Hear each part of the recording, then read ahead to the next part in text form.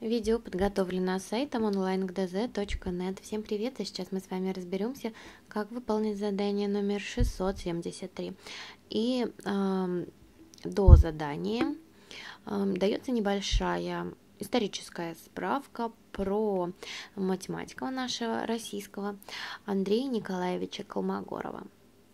Можете ее прочитать сами, если вам интересно.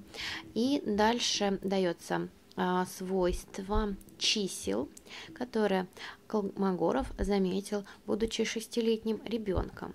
1 в квадрате равняется 1, 2 в квадрате равняется 1 плюс 3, 1 плюс 3, 4, 2 в квадрате это 4, 3 в квадрате это 1 плюс 3 плюс 5, 4 в квадрате 1 плюс 3 плюс 5 плюс 7 и вам нужно э, попробовать рассказать, что это за свойство и проверить, выполняется ли оно для квадратов нескольких следующих чисел.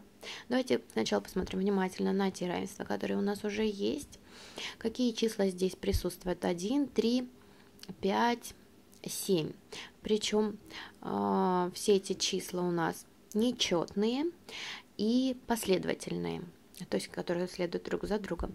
1 и 3 последовательные числа, 1, 3 и 5 последовательные нечетные числа, 1, 3, 5, 7 последовательные нечетные числа. Причем 1 в квадрате будет равняться 1, 2 в квадрате будет равняться 1 плюс 3, то есть 2 слагаемых у нас здесь уже присутствует э, у числа 1 в квадрате 1 слагаемое, 2 в квадрате 2 слагаемых, 3 в квадрате 3 слагаемых, у 4 в квадрате 4 слагаемых. А, можно это свойство сформулировать следующим образом.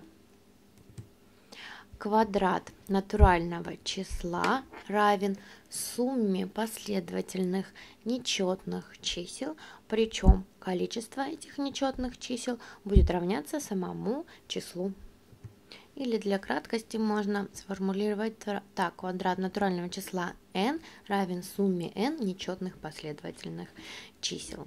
И давайте проверим, а, выполняется ли это свойство для квадратов нескольких следующих чисел. 4 в квадрате у нас есть, 5 в квадрате проверим. Нужно, если верить свойствам, сложить 5 последовательных нечетных чисел. 1 плюс 2 плюс 3 плюс 5 и плюс 1 плюс 3 плюс 5 и плюс 7 это 4 последовательных нечетных числа и плюс 9 пятое. Последовательное нечетное число. Считаем сумму. 1 плюс 3 плюс 5 и плюс 7 это будет 16, и плюс 9 это будет 25, а 5 в квадрате это действительно 25. То есть для а, следующего числа натурального это выполняется. 6 в квадрате. Это 1 плюс 3 плюс 5 плюс 7 плюс 9 и плюс следующее четное число это 11.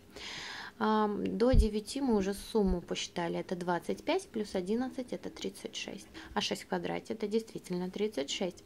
7 в квадрате, проверяем, 1 плюс 3 плюс 5 плюс 7 плюс 9 плюс 11, а следующее а, натуральное нечетное последовательное число это 13.